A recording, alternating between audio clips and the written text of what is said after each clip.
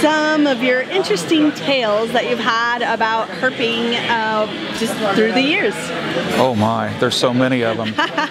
um, one of my best was that I went to California one time and got an elephant trunk snake back when I didn't know how to keep them and oh. Brought it back in a bag. Found out they were supposed to be in water. It yes. died on the way back home. Aww. And uh, so I decided to put it out on the road. And of all people to find it was uh, the curator of the Dallas Zoo at the time.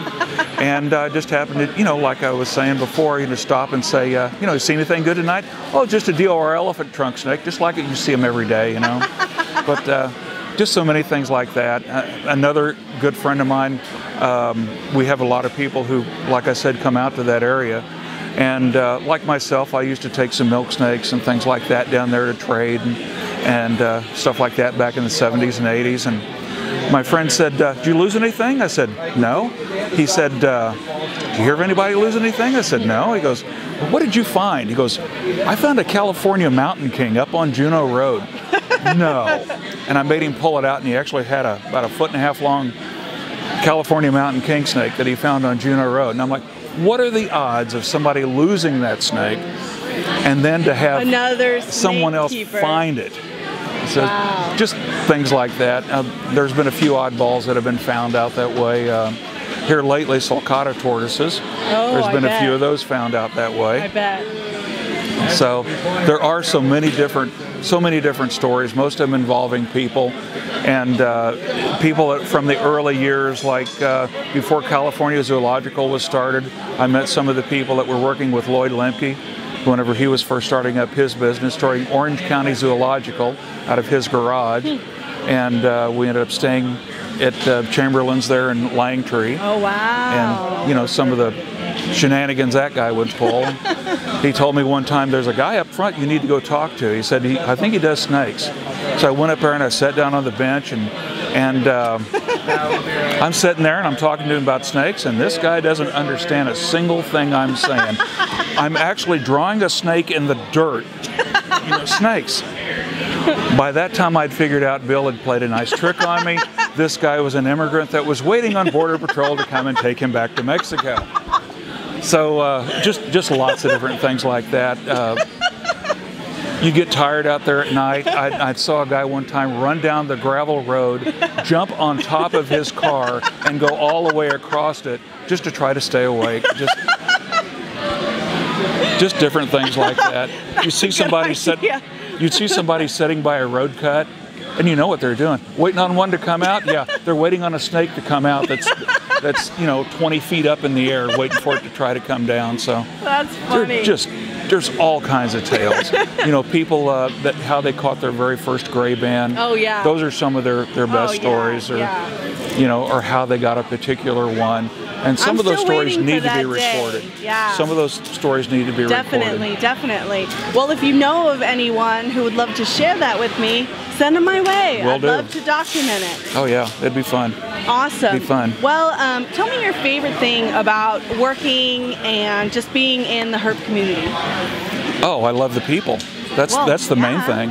I don't do this for a living. You know, the motel is my living, but I have a great time seeing the people. You know, I've come to this show. I saw a couple of snakes. I get to see everybody, and I'm happy. It's kind of like a family family. It really is. It really is. Yeah, I used to do this back up in Kansas City. I went to all the shows in the Midwest and come down to Texas, make all kinds of new friends, Oh, and yeah. and you just, uh, you know, it's just it's a great time. It really is. We're all kind of a little close knit community, and I like to believe that we would do anything for each other if the, you know, if the need ever arose. So. So, tell me why you like to vend at the Texas Reptile Expo, because you're one of the regulars here. It is fun. It- like I said, it's it's meeting and seeing all the different people. Mm-hmm. You know, and you never know who's going to walk in the door, and you get to teach like little kids. Oh, yeah. You know about the reptiles and. Uh, you know, teach them that they don't have to be scared of them, things like that. Yeah. But then it's sometimes it's not the kids; it's the parent that you Oh, have yeah. to, Kind to of- Mm-hmm. teach about. But uh, yeah, it's it's great. It's a lot of fun. Well, one thing I like like about this show, not only are um, you know the vendors, the patrons meeting new people, but I love the diversity in this show. A lot of shows you go to, and it's kind of a lot of the same thing for the most part, and you never know what you're going to find here. But it's something exciting and new at every table. I know it is. I actually saw crabs for sale somewhere. Um, lady's got crabs on her table, but that that's kind of an odd one. It is. But at least we don't have birds. I don't I don't know if I'd want squawking birds at a You at know, a it seemed show. like but there was a point when there were no more birds for some reason, uh, allergies or something like that. that could be. But anyway, That could be, and that's one of the great things about snakes. You know, they don't bark. They don't uh, have smelly cat boxes. They don't chase off the mailman. Exactly. You Mm-hmm. Know, things like that. You feed a nice snake once a week, and they're happy. And Exactly. Yeah, so very um, easy to take care man, of. I'm looking at your. Are these your pythons here? They're absolutely beautiful. Uh, tell us a little bit about. Uh, looks like there's only four or five snakes here, so probably Yeah. have time to tell us about each one. well, down on the bottom we've got a, a ball python. All of these are ball pythons, Yes. actually. They just have different paint on them. Right. Different colors to them. Um, there's a clown on the bottom and an enchi clown, and this up top here is a pastel super enchi clown, and then we have one up here called a uh, an albino and an albino pied. Let's see if I can get one out here. Another interesting story about the pieds. That's an albino pied. I actually had someone ask one time. Oh, okay.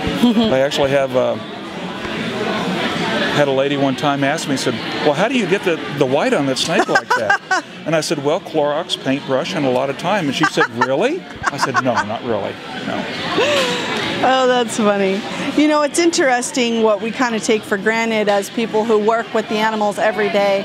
And I do think it is amazing to not only teach them a little bit about care and but just overall that the animals are beautiful, are amazing, and, something to be respected and that deserves to live. Yeah, and if you have somebody that's really, really scared of them, sometimes that's that's kind of hard to, to get them over it. But I try. You know, little baby steps sometimes. Yeah, well, I think that someone walking up and seeing an array of stunningly beautiful animals that you're just like so struck by their beauty when they're thinking of poisonous, which that's a peeve of mine when people say poisonous, poisonous black snake or poisonous brown snake that's going to come and try and kill them.